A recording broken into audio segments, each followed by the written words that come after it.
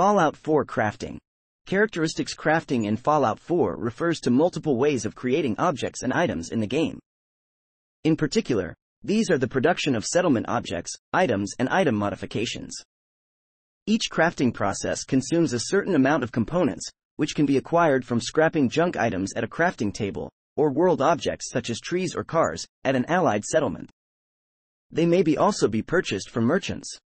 Crafting components are accessed and consumed either via Settlement's workshop or directly from the player's inventory. Ways to obtain them are covered below. Unlike in previous games, in order to craft or modify an item, it is not generally required to learn schematics, as the majority of craftable items is already known by default, with only a few having to be learned by alternate means, e.g., reading a terminal entry. In addition, certain crafting related perks are mandatory. Some examples are science, for energy weapons, armorer for all but the most basic armor pieces, and demolition expert for anything more complex than a Molotov cocktail. While in workshop mode, objects outlined in yellow can only be scrapped or left alone.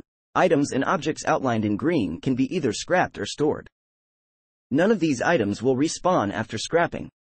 Stored objects, which will always be craftable, can be placed elsewhere. Fallout 4 Crafting Characteristics Settlement Objects Fallout 4 Crafting Characteristics Settlement Objects Main Article Fallout 4 Settlement Objects These refer to all kinds of settlement objects. They range from objects covering basic survival needs, e.g., edible fruit and water pumps, to prefabricated housing modules, trash cans, windmills, machine gun turrets, or simple furniture like beds, desks, and tables. They can only be crafted in an allied settlement, and each object crafted consumes a certain amount of the settlement's available budget. Fallout 4 Crafting Characteristics Items Fallout 4 Crafting Characteristics Items These refer to all sorts of craftable items, such as certain weapons and explosives, armor and clothing, as well as consumables and aid items, such as food or chems.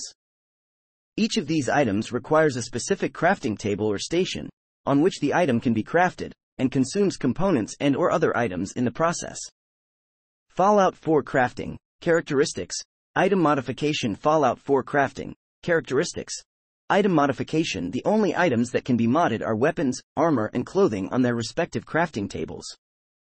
This happens either by attaching a loose mod box, which can be found in the world or bought from a merchant, or by crafting and applying the modification to the item in question.